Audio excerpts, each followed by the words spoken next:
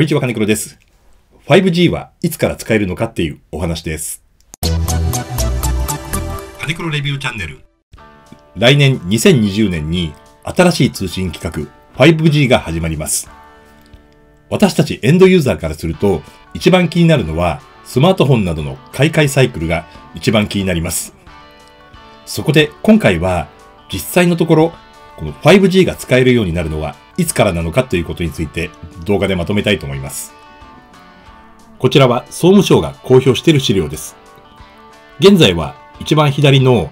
4G コアネットワーク LTE 基地局を中心に今 4G を使っています。それが来年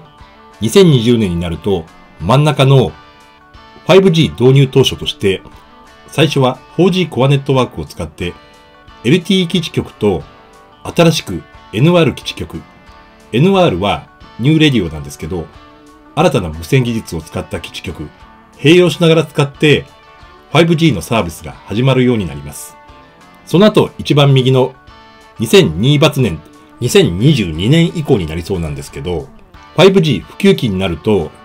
NR 基地局同士がつながり 5G コアネットワークが完成します。そういう段階で移行していく形になります。こちらは NTT ドコモの資料で2020年代における 5G サービスエリア拡張イメージです。超高速トラフィックエリアは本当の都心部で東京、名古屋、大阪というふうに言われています。その次の都心部や都市部でも駅周辺を中心として 5G が常設されます。郊外だとイベント会場周辺が 5G が採用されて、地方都市も主要なところが 5G が常設されます。地方の集落だと NR 基地局を中心に 5G が常設されます。次に赤の太い円のエリアは既存 LTE バンドの 5G 化エリアで、今までの LTE エリアの中だと 5G の端末でも使えるエリアです。ただ 5G 常設エリア以外のところにいるときは、今までの LTE のスピードで、5G 常設エリアに移動したときに 5G のスピードで使えるっていう形になります。今の段階では 4G の LTE エリアが全て 5G が使えるようになるにはまだ数年かかりそうなんですけど、逆に考えれば、今度の 5G の常設エリアで何か新しい商売できないかなというふうにも思いました。5G の常設エリアで、例えば AR や VR を使ったバーチャルライブ会場だったり、バーチャルマチコンなんかも面白そうです。また、